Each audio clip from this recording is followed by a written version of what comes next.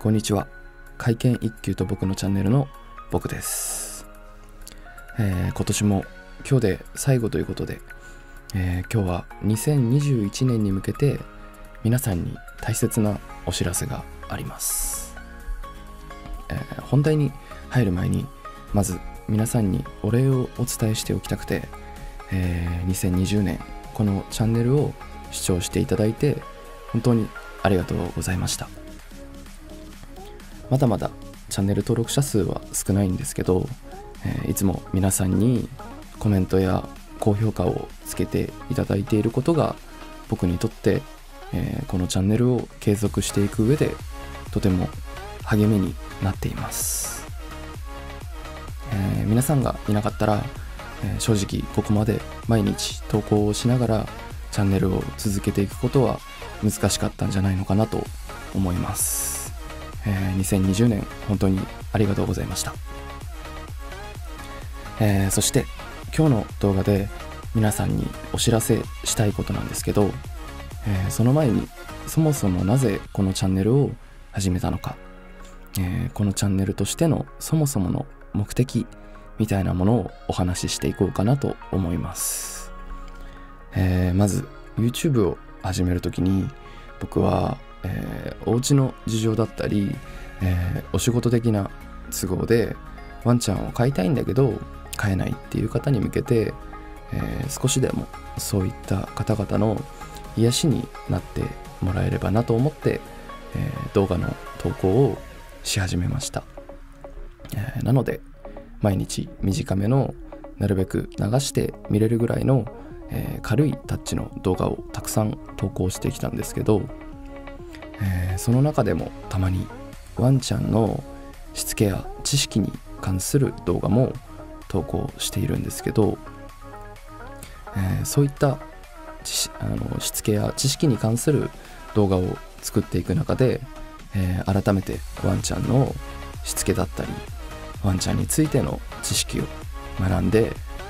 えー、僕なりにいろんな考察なんかもしてきました。えー、そしていつからかそういったワンちゃんのしつけや知識のことを学んでそれを動画にして皆さんにお伝えしていくっていうのがだんだん僕の楽しみになっていったと同時に、えー、そういった動画はとても多くの方に求められている動画なんじゃないのかなというふうに思うようになりました、えー、ただやっぱり、えー、本業のお仕事をしながら毎日投稿していく中でそういった、えー、知識やしつけに関する動画を投稿していくことは、えー、とても手間と時間がかかるので、えー、なかなか難しくて、えそういった知識やしつけに関する動画に関しては、え本業の仕事が休みの日とかに時間をかけてじっくり作成をしてきました。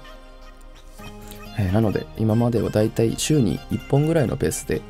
えー、そういった動画を作ってきたんですけど、えー、来年からは今まで毎日投稿していたような、え短めな動画ではなくて皆さんの役に立つような、え知識やしつけに関する動画を中心に投稿していきたいと思っています、えそしてそれに伴って、え今までは毎日投稿してきたんですけどえー、来年からは毎日ではなくて、えー、だいたい2日に1回ないし3日に1回ぐらいのペースで、えー、そういった内容の濃い動画を投稿していければなと思っています、えー、もしかしたら流し見できるような、えー、軽いタッチの短めの動画を愛してくださっている方もたくさんいるのかもしれないので、えー、申し訳ないんですけど、えただ今までのような緩めの動画も、えー、全く投稿しないわけではなくて、えー、そういった動画も週に何本かは投稿していこうと思いますし、え、知識やしつけに関する動画にも一休さんは登場しますので、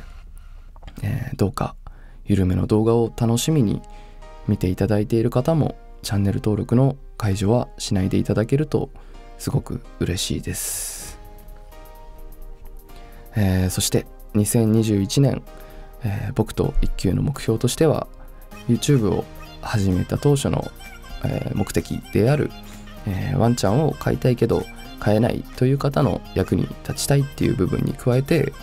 えー、今現在ワンちゃんのしつけについて悩んでいる方や、えー、これからワンちゃんを飼おうと思っている方、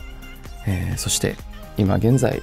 間違った対応をされていて、えー、今傷ついて苦しんでいるようなワンちゃんに対して少しでも力になれるような動画をたくさん投稿していけるそんなチャンネルを作っていきたいと思っています、えー、2020年たくさんの動画を視聴していただき本当にありがとうございました、えー、まだまだ僕自身も未熟で、